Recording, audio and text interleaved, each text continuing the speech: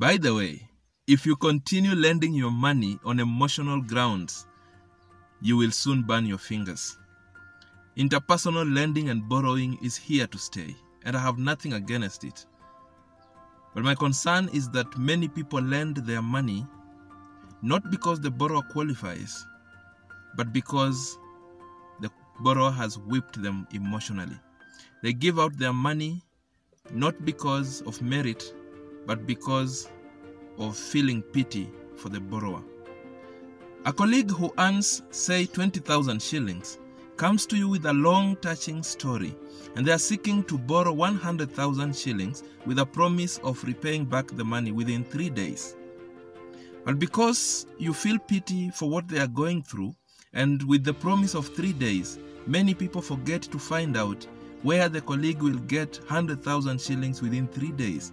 If anything, payday is still far away from where you are, and even if you are to wait for payday, your colleague can only earn not more than 20,000 shillings.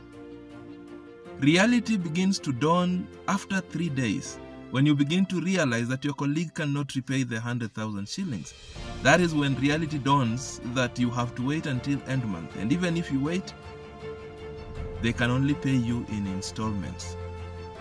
You see, money requires some logic. We need to reason out, and especially where you're giving out your money.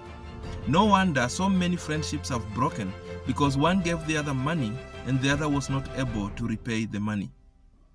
Anyway, to avoid such heartaches, just be sure to lend out that which you are comfortable losing so that if it does not come back, or even if it does not come back the way you expected, then you will not sink into depression. Look, you can do better. And this is by the way.